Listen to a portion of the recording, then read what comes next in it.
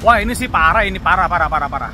Lu nonton deh video ini sampai terakhir ya, sampai ending. Jadi dari video yang saya dapat ini, yang perkumpulan korban Istaka Karya ketemu Komisi 6 di DPR, ternyata Istaka Karya tidak diaudit selama 3 tahun, tahun 2020, 2021, 2022. Nah lu bayangkan Bagaimana sebuah BUMN, anak usaha negara, bisa tidak diaudit sama sekali? Kira-kira apa yang akan terjadi? Ini kementerian apa kerjanya? Bukannya tupoksinya adalah membina? Ya apa yang mau dibina menterinya sibuk sana sini, ngurusnya nggak jelas, kagak ada akhlak sama sekali. Ngomong-ngomong, itu Erick Thohir, kalau dia ambil tes akhlak itu, bisa lolos nggak sih? Sadis, sadis, sadis, vendor rugi triliunan tidak dibayar bahkan sampai ada yang bunuh diri ada sampai rumahnya disita ternyata BUMN-nya nggak pernah diaudit tiga tahun sadis dan sampai hari ini sementri tidak pernah ada komentar sekalipun perihal korban Isaka Karya. Semenjak korban Isaka Karya mengadu ke DPR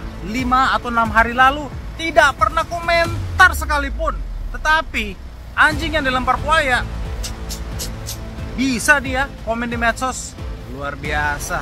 Lebih peduli anjing ternyata tuh akhlaknya ke mana nih orang nih semoga informasi ini bisa jelas. Nonton video ini. Istaka Karya tidak melakukan audit selama tiga tahun Mbak. Jadi ini perannya BUMN ke mana? Sebagai pengawasan.